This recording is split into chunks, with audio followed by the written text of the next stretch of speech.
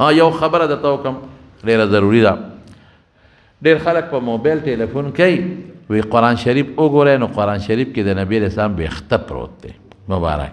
او راواله وغه بو کې واچي اوس کې دا ټول دروغ دي ټول دروغ چورلټ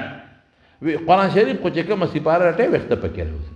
یا پکې خزه تلاوت کوي یا پکې سړی تلاوت کوي نو د خزه سر وخت پکې پریوزي او کله رسالو او کله په دې هوا کې چې هوا دي دا وخت مختین پکې پریوزي نو چې څوک وي الکه ما خو پانه وکړه ته قران شریف کې وخت پروت دی نو د پیغمبر مبارک د وختو به خدای دونه تذلیل کوي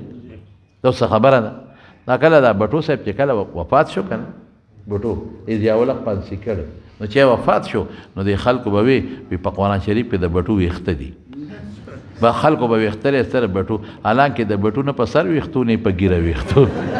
د بټو سر نه ویخته نشته نو قرآن شریف کې ویخته د کم نه نه راځي نو موږ بروره غون میاش خلکو ته وی نشته نشته نشته اخر کې خلک صبر شو اوس دا غم جوړ کړی دی وی ویختری په قران شریف کې ولټی وی پکې راوته کړ وی راته پلان کې سی پاره وی پلان کې صورت او ویخته پکې راو تر اول یو صورت ته ځای مو پکې پیندش پک راوځي دا څه خبرې دي دا پزول خبرې دي د رسول الله مبارک د ویختو الله دومره هته کو بي دې نه کوي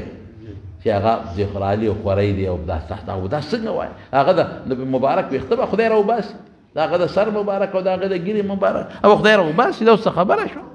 دا ګوره د بیزتې خبرې دي دا قطعا مه کوئ دا د ګناه خبرې دي دا هسې خبرې خو چې ښځې کم ښځو کې یو جنجال خو شته دوی خپل یو کتاب خو شته که د شریعت نه دوی خپل کتاب دی خو چې ښځې کومه خبره وویل خو ورې که نه ما وکتل که نه وی خورې هغه چې مې وبو کې واچول او پلان کې اوس کله ټیک ټاک شو کنه بس خو چې دا خبره خورې نه خورې نه خورې نه نو ټول پاکستان ته بیا د خورې نه خبره رسېږي نو دې کې یو فټه گزاره کوي ښه خزه کله وی او پلان کې دا چې زیارت لاله او بچراغ ټیک ټاک شو بچ ګوره بلوت په زیارت دون راځ جوړي چې پلان کې وته خلک ونه نو دا څه ده